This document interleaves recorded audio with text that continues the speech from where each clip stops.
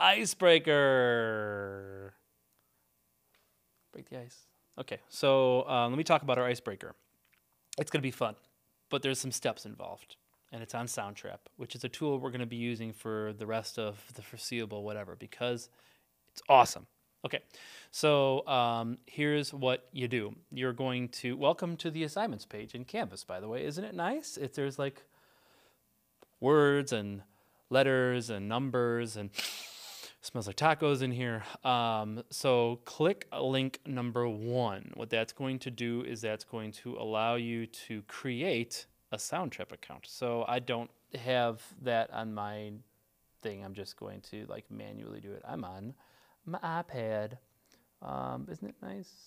How was your summer? Mine was pretty good. Okay, so this is the link. Come on, link. Okay. It's going to ask you um, if you're a new user or an existing user. It, you're just a new user. Okay, so click a new user, and then it's going to have you um, sign up with Google or sign up with Office 365. Sign up with your email, and then type in your email. My email. Hmm, what email should I use? I think I'm going to use my email address from like. This is old. Captain Howdy, four, eight two. This is how old it is. At hotmail.com. Yes, hotmail.com. My password, sure, I'm going to let it make a password for me. Fine. My name is Borb. Uh, or Born? It's Born, sure. Born Bjorn. Born Bjorn. Cool. Now I'm going to sign up. Click sign up. Awesome. It's thinking, thinking, let it think. Now, Born Bjorn is person, which is cool. Um, next step is you need to download the Soundtrap app that is going to be in self-service. Shush. All right, so download the app. So now this is what the app looks like. Uh, the app is right here. All right, so I'm logged in. I'm gonna log. I'm gonna log. I'm logged in as my wife. My God, here. I have to log in as weird me from like junior high. Okay, log in with your email and you're just going to type in exactly what you did before. Captain Howdy 482 at hotmail.com. Okay, password. I don't know. It was from my uh, app. The the computer remembered it. Okay. Cool. Login. Now we're good. This is good. Step two. So um, you've logged in to the Soundtrap app. Let's go to step three. Step three is you are going to click on the link.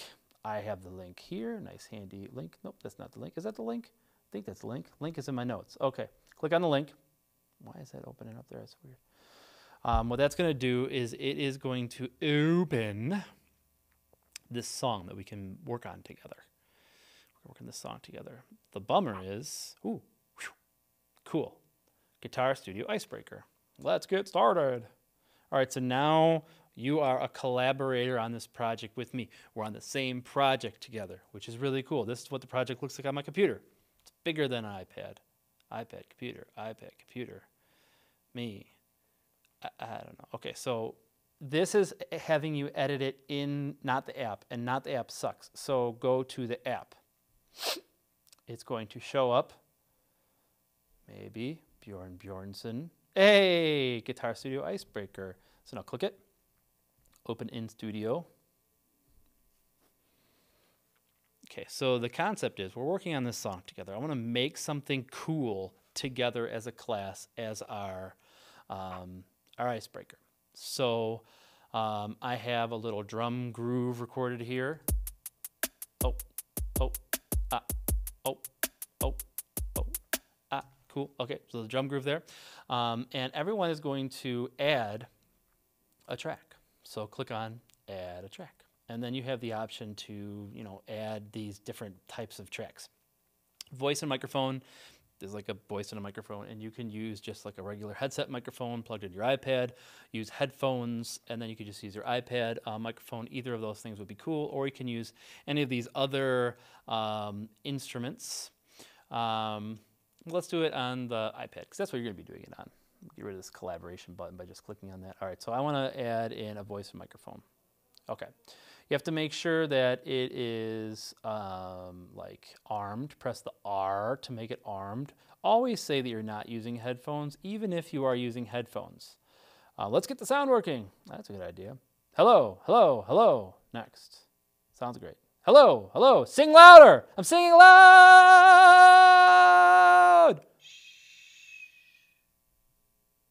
Okay, that was weird. Cool.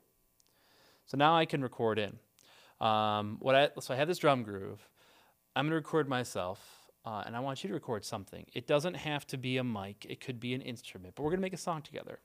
Um, and you have to name your track. It's important. You got to name your track because this is like our icebreaker. We're getting to know each other. So click on the little cog thing, rename, name it. What was my name? Bjorn, Born, Born, Bjorn and this is where you name it with your name. And then you're going to add to the track by pressing record, listening to the drum beat, and then you can add to the track. So I'm going to go to my computer and I'm going to add to the track. Ooh, Jordan Jordan's here now. Cool. So I'm going to add in a um, voice and microphone. Change this to dry. It just sounds better when it's in the dry one. Okay. And um, I'm going to just record my name. I am not using headphones, even though I'm using headphones. There we go. Habersat.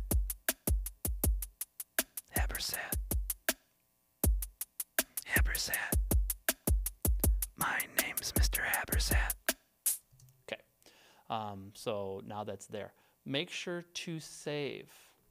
Once you save, then oh, look over here said that Bob Habersat has made changes to this project. That is really cool. And then what you can do is if you click on the collaboration feature, you can press sync and oh, delete it. It will show you what I just put in there, which is so cool. Um, so now that we have that done, um, if you run into any troubles where your iPad is like, uh-uh, I just can't handle I can't handle it. This isn't the iPad, it's the computer. If your iPad's like, uh, -uh I can't handle it, um, you can freeze a track. Let's say there's a bunch of people's uh, names in here. You can freeze a track. You freeze a track by highlighting the cog and then click freeze a track. And what it's going to do is it's going to turn that track off so the computer, your iPad doesn't have to like process it. So if you're going through this whole thing and then if your iPad's like not enough RAM or CPU usage too high, you can just freeze the track and, and it'll all it'll all be good. Oh, I didn't do the most important thing ever gotta rename this. Habersat. That's my name. Boop. And even if you just rename something, you have to save it. And now, oh, Bob Habersat had made changes to project. Collaborate, sync, boosh. We can also talk in here, which is pretty cool. And you can poke people. Don't hurt them. Um, so all you need to do follow those things. It's also setting up Soundtrap because we're going to play a lot of music into Soundtrap together. Um, but you're setting all that up, and then you're just recording something. It could be a drum. You can go boom, boom, boom. It could be a guitar using a Soundtrap. It could be your own guitar. Let's keep it to the key of C. I don't know what's going to happen. It's going to be cool. Peace.